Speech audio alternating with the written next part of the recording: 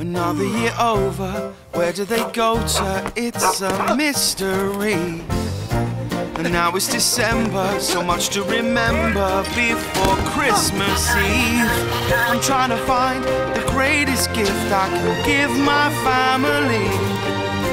I don't have time, there's only one of me. That gives me an idea. If I wasn't alone, what if I had a clone? I could do so much more. It would all be a breeze with a couple more me's. I'd have time galore. Now I can meet with the boss and empty out my inbox all simultaneously. Leaving me time to spend with my family and friends where